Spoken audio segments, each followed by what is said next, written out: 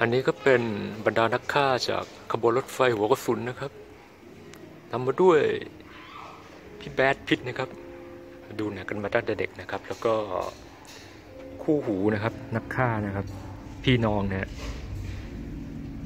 เนี่ย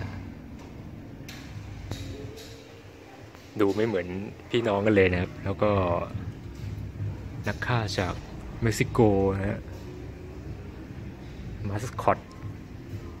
อสรพิษนะฮะแล้วก็พ่อลูกนะครับ อันนี้ก็เป็นบอสใหญ่นะครับ แล้วก็สาวจอมแสบนะครับ เรื่องนี้แนะนำเลยนะครับว่าให้มาดูนะครับ นี่นะครับเพิ่งออกมาจากโรงเลยครับ มันจริงนะครับ